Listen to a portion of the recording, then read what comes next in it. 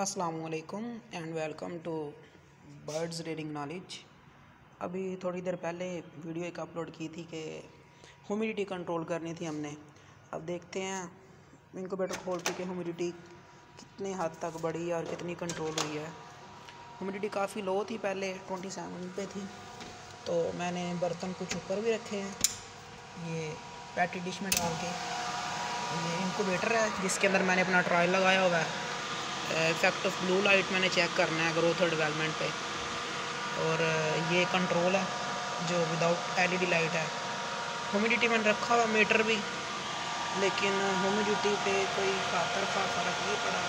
अभी भी twenty eight degree है। ट्वेंटी एट परसेंट अभी भी। तो इन सुबह उम्मीद है कि फोम वगैरह हम रख के और फिर ह्यूमिडिटी को बढ़ाएँगे इससे मज़ीद। और ये दोस्त है, उसने पिजन के भी रखे हुए हैं साथ एग पिजन के, असील के और मिस्री देसी मुर्गियों के हमने ट्राई लगाया होगा है कट देखने के लिए ब्लू एलईडी लाइट का। और हमने अब इसकी साइड चेंज करनी है, तमाम एग्स की। ये इसका ट्रायल है, दोस्त का, पिजन का।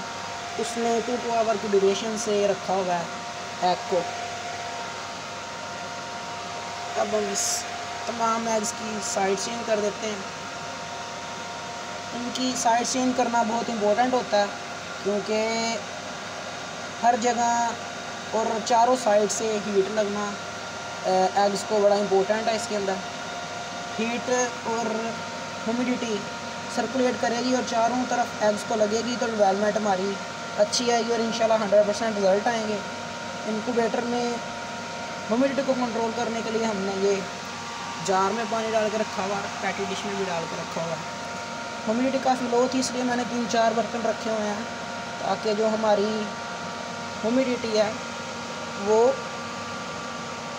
हमारी रिक्वायर्ड अमाउंट पर आ सके।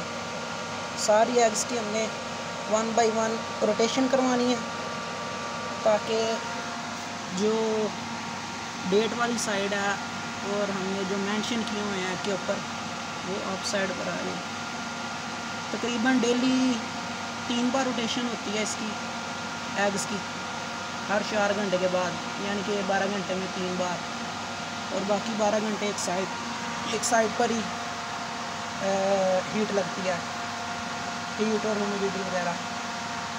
टम्परेचर हमने thirty seven point seven degree Celsius रखा हुआ है, और ह्यूमिडिटी इंशाल्लाह सुबह उम्मीद है फिफ्टी फाइव या फिफ्टी फाइव प्लस रखेंगे इन अभी तो अट्ठाईस तीस के करीब करीब चल रही है ह्यूमिडिटी और ये देखें पिजन्स का कंट्रोल लगाया हुआ हमने। और इनकी भी साइड सीन करनी है तमाम एग्स की। जो डेट वाली और मेंशन साइड है, वो ऊपर आ जाए बाई हैंड ही करना पड़ता है सारा प्रैक्टिकल है। प्रैक्टिकल वर्क में हैंड यूज़ होता है तकरीबन।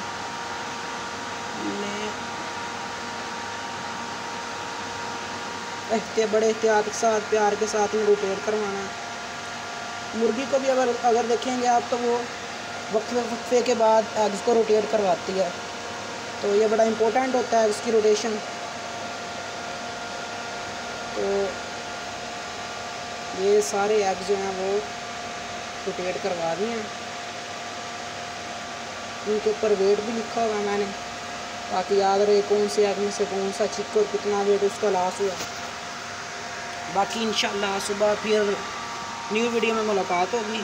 ह्यूमिडिटी के हवाले से। ह्यूमिडिटी अब ट्वेंटी सेवन पर आ गया। पहले ट्वेंटी सेवन पे थी, अब ट्वेंटी नाइन पे आ गई है। इन और इंक्रीज़ करेगी। फिफ्टी फाइव सिक्सटी तक लेकर आनी है इन और, ये इनकोवेटर है। इनकोवेटर लाइट मैंने इनकोवेटर के अंदर ही एडजस्ट की हुई है। इससे ये लो इंटेंसिटी भी कर सकते हैं हम और हाई इंटेंसिटी पे मैंने रखा हुआ है फ़िलहाल।